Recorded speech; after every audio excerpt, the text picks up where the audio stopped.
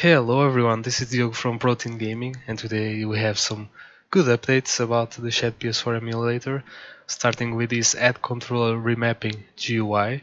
Basically before if you wanted to bind your keys to different keys, if you wanted your X key to be square for example, you need to go to the emulator and use this really bare bones way of editing the bindings.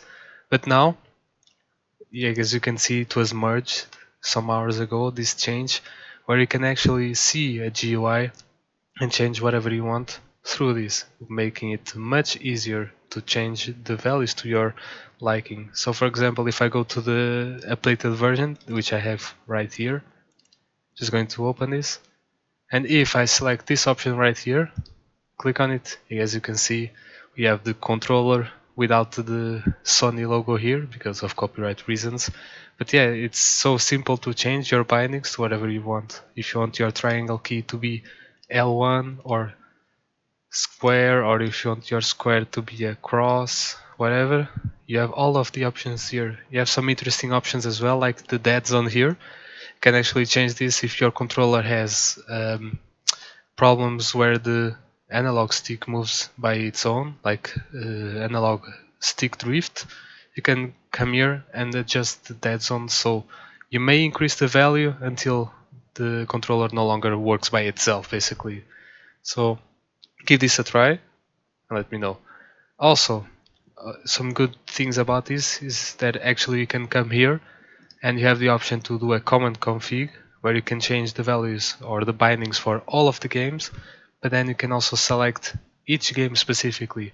For example, this one is 03173. I know it's Bloodborne, so if I want to only change the bindings for Bloodborne, I can just come here, click on it, and then just change whatever I want. And use my per game configs.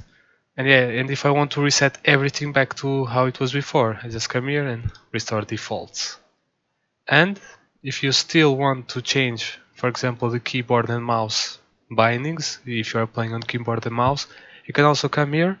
Just click on here and you'll still have to deal with this well pretty bare bones uh, UI but still some really nice progress in terms of bindings to your controller. So nice update in regards to this. And now also there was another very useful update. As you can see you actually have now some more options regarding the background image of the game that you are selecting. You can show background image or you can uh, hide it, you can change the opacity. It's just as simple as coming here.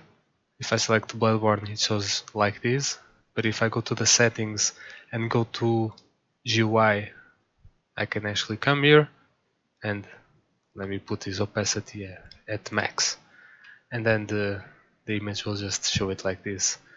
And then I have also other options like I can disable it entirely and I can also disable this option. And now no background image is showing. So yeah if you check this it has some really good updates and uh, if you want to be up to date with all the new shadPS4 releases, just subscribe and like the video. So see you later. Bye.